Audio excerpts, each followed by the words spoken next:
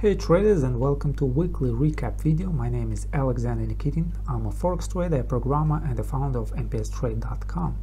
In today's video, I will show you the statistics I have so far trading with MPS and PTA for the current year for 2019 and uh, if you guys are new um, MPS stands for Monster Pattern Search identifies and draws patterns both on history for your market research and for your backtesting and uh, in real time for your trading.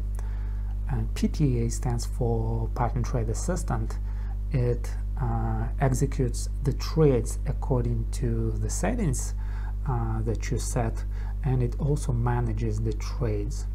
Okay, let us start. Uh, the first thing to do, I need to go to open this navigated tab and I need to go to account history and uh, I suppose I need to set uh, the starting date. So I'll go to custom period and I set the uh, starting date as January 2019 1st January 2019 and uh, you see the data was downloaded from my uh, broker's server so the first trade was uh, set on the 2nd January 2019 and the last trade was set on 15th February 2019. So let's export this history and save it as a detailed report. Okay, replace the existing one, agree, and it opens automatically in uh, my browser. So let's scroll it to the downside to see the statistical block. Uh, well, what I want you to pay attention to is this number of 53, uh, 78. It is the probability of win. And I also want you to pay attention to this ratio. Uh, the average winner is greater than the average loss. Okay, so as long as I keep this ratio more than 1, I mean that the average win is greater than average loss, and I keep this probability of win more than 50%, my equity curve is guaranteed moving to the upside. Okay. Uh, well, uh, some more thing I want you to uh, to see is the uh, total net percent gain. So let us do some calculation.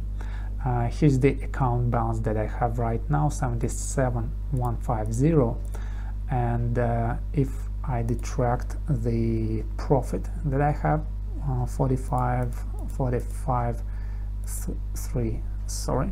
Uh, let me do it one more time. 77150 minus 45 45 3 and uh, the starting balance was uh, 31697 let me type it down 31 69 7 so it is the starting balance. And to calculate the uh, net percent gain we should uh, divide the profit of 45 45 3 by our starting balance and we need to multiply it by 100 so you see the percent net gain is 143 percent uh, generated. I'm very pleased with this uh, amount of uh, percent net gain.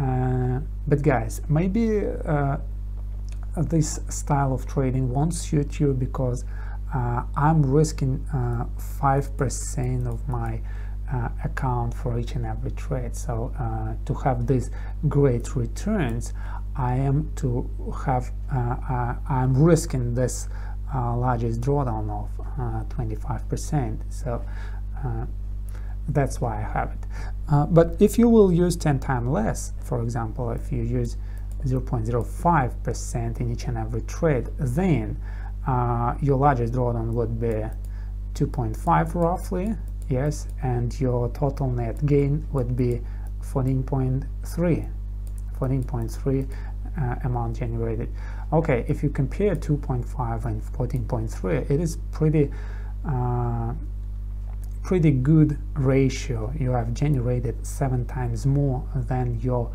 maximal risk, uh, than your maximal drawdown. Uh, very good uh, ratio between the generated amount and the maximal drawdown. This is called a uh, recovery factor. The greater is the number, the greater is the ratio, the faster your uh, strategy recovers uh, from a drawdown. Okay, uh, that's it for today. Hope you like this video.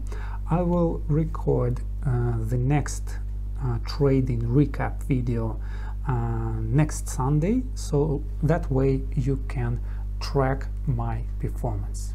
Goodbye.